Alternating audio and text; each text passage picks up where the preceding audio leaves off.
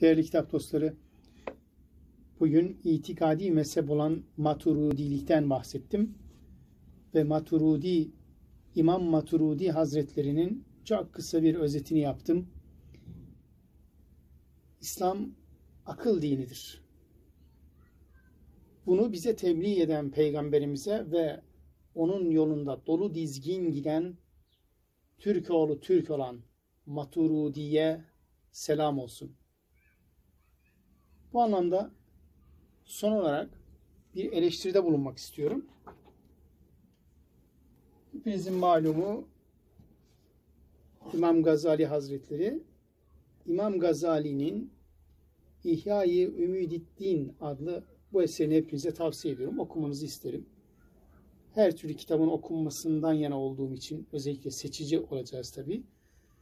Ama her fikri bilmemiz bizim fikri olgunluk düzeyimize katkı sağlayacağı için kitabı tavsiye ediyorum. Çok faydalanacağınızdan eminim. Ancak küçük bir eleştiri yapacağım bu anlamda. Bir eleştiride bulunmak istiyorum. Maturudi'nin inanç sistemi bütün Türkler arasında kabul gördü. Bu ortada. Büyük bir coğrafyaya yayıldı. Daha sonra pek çok İslam milletinin, ümmetinin arasında taraftarlar buldu. Böylesine güçlü bir inanış ne yazık ki İmam Gazali'de bir sayfa bile yer verilmeden görmezden gelinmiş. Tabi yalnız İmam Gazali değil, İmam Gazali ve İbni Haldun da Maturudi'den hiç bahsetmezler. Başta olmak üzere, bu iki kişi başta olmak üzere bu yazarlar herhalde öyle düşünüyorum farklı mezhepten oldukları için kaynak olarak hiç göstermemişlerdir.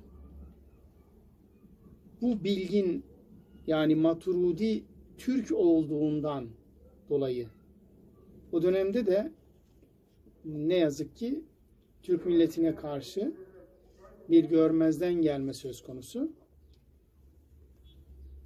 Bu nedenle Sülerek söylüyorum. İmam Gazali ve İbni Haldun Maturudi'den bahsetmemektedir. Bazı araştırmacılar bu söz etmeyenlerin Maturudi'nin görüşlerine göre değil de Türk dünyasında dünyaya gelmiş olması Türk gibi düşünüp Türk gibi olayları değerlendirmesi yani bizim gibi düşünmüyor diyerek İmam Maturudi'ye yer vermemişler. Ben de bu görüşe katılıyorum. Ne yazık ki böylesine geniş bir alanda kabul gören bir alimden hiç bahsetmemenin olsa olsa tek bir sebebi olabilir. O da siyasi bakış farkıdır. Malumunuz İmam Gazali İranlıdır. Ee, İran'ın da Selçuklu'ya, Osmanlı'ya, daha doğrusu Türk oğluna bakış açısı ortadadır. Şimdi İslam dini kolaylık dinidir. Peygamber Efendimiz Sahih Buhari'den bir hadis okumak istiyorum. Peygamber Efendimiz buyuruyor ki kolaylaştırınız, zorlaştırmayınız müjdeleyiniz, ürkütmeyiniz. Ve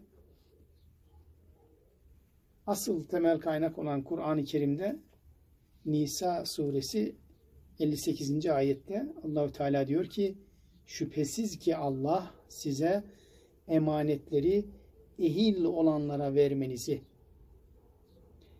insanlar arasında hükmettiğiniz zaman adaletle hükmetmenizi emreder. Teşekkür ediyorum. Saygı ve selamlarımı sunuyorum.